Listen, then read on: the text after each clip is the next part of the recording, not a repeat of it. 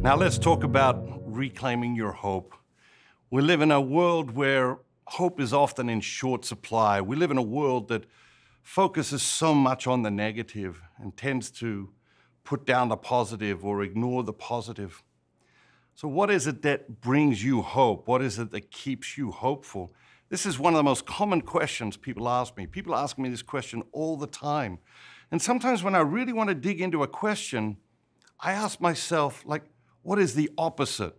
Explore the wisdom of the opposite, try and go into the opposite and try and try and work it out from that perspective. So in this case, I ask myself, what causes you to lose hope? And three things cause me to lose hope. Number one, I focus too much on myself. I focus too much on myself, almost always can lose hope in a negative situation. Number two, I become impatient. I want to solve a situation faster than it can be solved, or, or I want to have my desired outcome come about faster than is possible. I become impatient. I become impatient. And the third thing is I lose perspective. I lose perspective because the reality is is that if I look far enough into the future, my hope will always be restored. Now, sometimes in some situations, I have to look all the way into eternity for my hope to be restored. But the reality is, is that if I look far enough into the future, my hope is restored. And, and when I don't do that, I've lost perspective. I've lost perspective. I, I, say, okay, I need to solve this today. Well, whatever I need to solve, might take a week to resolve. If I, if, if I really force myself to resolve it today and it's going to take a week to resolve, what will happen? I, I, I begin to lose hope. I begin to get down, begin to get into a, maybe a dark mood. And so sometimes what helps us to understand something, in this case, how do we keep our hope alive? What brings us hope is to examine the very opposite of that thing. I think it's also important to remember that hope is a supernatural gift. Okay? Hope is a supernatural gift. There are things we can do to nurture it. Okay? There are things we can do to nurture it. There are certainly things we can do to lose it. But at the end of the day, hope is a supernatural gift.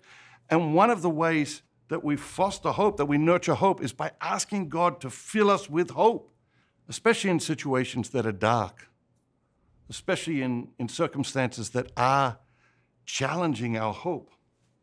But if we return to the question, you know, what is it that brings me hope? What is it that, that fills me with hope? There are two things. The first thing is our capacity for goodness. Am I blind to everything that's going on in the world? Am I blind to the darkness and the, and the evil in our world? No, I'm not. But what trumps that? Our capacity for goodness is it's an astounding thing. It's a beautiful thing. It's an incredible thing. And if you really think about your own capacity for goodness and how impactful that goodness can be on other people's lives, and then if you multiply that by 8 billion people on the planet, you, you discover that our capacity for goodness can be the source of, of astounding hope. And the second thing that brings me hope is our ability to change. I've been doing this work for almost 30 years, and I have seen people's lives change in ways that are humanly inexplicable. I have seen amazing things happen in people's lives, in people's marriages, in people's health, in people's personal finances, in people's careers, in every aspect of people's lives. I've seen ex- extraordinary things happen. Why? Because when we open ourselves to God, when we open ourselves to the life that wants to live in us, the life of God, which is very different to the life that we're living, but when we open ourselves to the life that wants to live in us, the life that we're living changes. And so our capacity for goodness, our ability to change, and my knowledge that God wants to help us in all of those endeavors is what fills me with great hope, even in the midst of darkness. Even in the midst of darkness. The other thing I think nurtures my hope, that stokes my hope, when I get into places where I lose hope or I get a little bit down, is to look into the past. And when I look into the past, I see thousands and thousands of people who have shared their goodness and generosity with me on every continent in dozens of countries around the world. And so, experience of people's goodness, experience of people's generosity isn't just an idea, it isn't just a theory, it is something that I have experienced in very real and living ways in so many places from so many people over the past 30 years, and that fills me with incredible hope. As we look at these different areas of our lives, we talk about reclaiming them, collaborating with God to reclaim these different areas of our lives, enormous aspects of our self and life.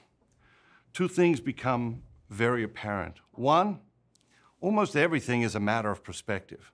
Just by shifting the way we look at something can completely change our experience of that thing, of that person, of that situation, of that circumstance. The second thing we discover is that God is constantly trying to adjust our perspective on just about anything. There's a great story included in the book I want to share with you that puts this point very, very clearly. Once upon a time, there was a boy who was growing up in a very wealthy family. One day, his father decided to take him on a trip to show him how other people who were less fortunate lived. His father's goal was to help his son appreciate everything that he had been given in life. The boy and his father pulled up to a farm where a very poor family lived, and they spent several days on the farm helping the family work for their food and take care of their land. When they left the farm, the father asked his son if he enjoyed their trip and if he had learned anything during the time they had spent with this other family. The boy quickly replied, It was fantastic, Dad. That family is so lucky. Confused, his father asked the boy what it was that he meant. The boy said, Well, we only have one dog, but they have four dogs and they've got chickens. We have four people living in our home, but they have 12. They have so many people to play with, and we have a pool, but they have a river that runs all the way through their property. We have lanterns outside, but they can go outside in the night and see the stars light up the sky. We have a patio, but they have the entire horizon. We have to go to the grocery store to get our food, but they know how to grow their own food.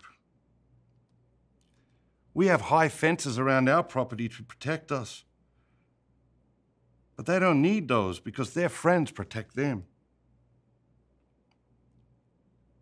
The father was speechless. And finally, the boy added, Thank you, Dad, for showing me how rich people live. Everything is a matter of perspective. And God constantly trying to adjust our perspective, to realign our perspective, to bring our perspective in line with His reality.